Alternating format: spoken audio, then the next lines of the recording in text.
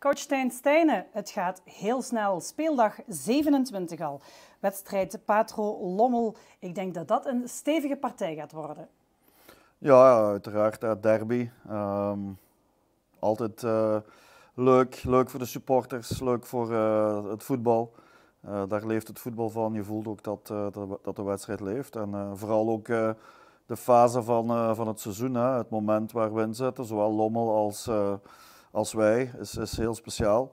En dat zorgt ervoor dat dat uh, ja, nog extra aan de verf komt, zo'n wedstrijd. Wij staan op een mooie vijfde plaats voorlopig. Lommel op de tweede. Zij gaan ook echt voor de titel.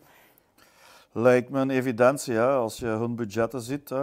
We hebben vandaag in de media ook eh, de uiteenzetting mooi gezien, de verschillen gezien. Dus het, uh, het is eigenlijk niet meer als logisch dat uh, Lommel hier uh, als favoriet start, dat Lommel hier de wedstrijd komt winnen.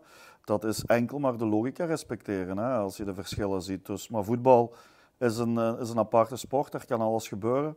Dat wij ja, goed in staat zijn om op één punt te komen van dergelijke budgetten. dan heb ik het zelfs niet over ploegen, maar dergelijke budgetten, dergelijke kwaliteiten.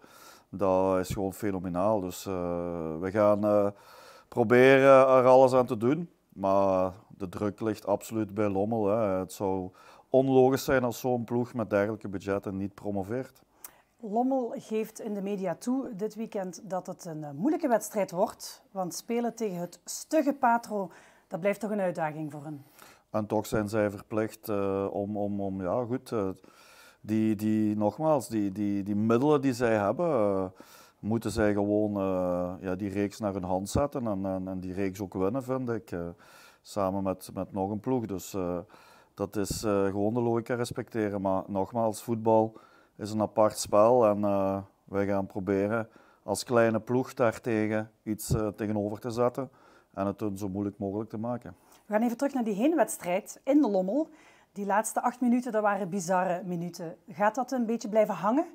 Bij de start van dit spel? Oh, ik, uh, ik, ik, zie daar eigenlijk de link niet van in. Uh, zij zullen dat misschien gebruiken, maar ik denk dat zij vooral uh, de druk moeten voelen van ja, met dergelijke middelen is het logisch als ze hier winnen. Dat is ook geen revanche, vind ik. ik vind een ploeg met die middelen, nogmaals, moet hier niet hoog van de toren blazen, ook als ze winnen. dat is logisch, dat is normaal. Maar uh, ja, de heenwedstrijd uh, hebben wij gewonnen. Uh, en dan heb je af en toe wel een gelukje nodig. En dat hadden we misschien op het einde, al vond ik dat het doelpunt die zij maken was een foutieve voorafbeslissing, maar de arbiter had gefloten en dan gaat die bal pas binnen. Dus daar is genoeg over gezegd. Drie punten waren toen van ons. Ehm, en we gaan proberen dat te herhalen morgen. Met welke spelers zet je het spel in? Welk team? Ja, ik zeg altijd, een nacht moet, uh, moet daar nog raad in brengen. Hè. Normaal gezien, uh, als we allemaal gezond blijven, dan, uh, dan weten we wel hoe we het gaan doen. Maar er kan veel gebeuren op, op, op een paar uur tijd. Ja, er gebeurt ook heel wat achter de schermen bij ons. Het is te zeggen, er wordt hier en daar iets verteld over Anis en een mogelijke transfer. Wat weet jij daarvan? Ja, uiteraard genoeg. Ehm, ik denk dat we Um, de voorbije week, uh, of de voorbije week vooral uh, in, in, een uh, stroomversnelling zijn geraakt.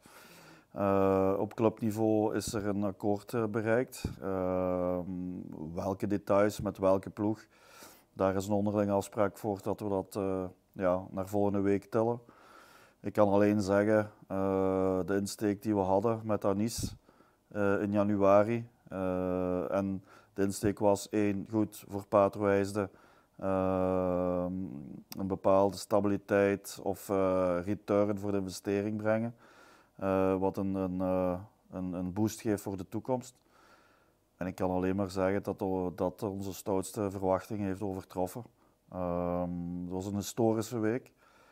Maar nogmaals, de details, wie, wat, hoe, wat, dat uh, gaan we nu niet mee naar buiten komen. Maar de druk uh, om, uh, om, iets, om niks te zeggen is, is, is te groot op dat het overal circuleert. Maar ik ga alleen bevestigen dat er een akkoord is op clubniveau. En namen, dat zal voor volgende week zijn. Oké, okay, dat is voor volgende week. Eerst focus op morgen.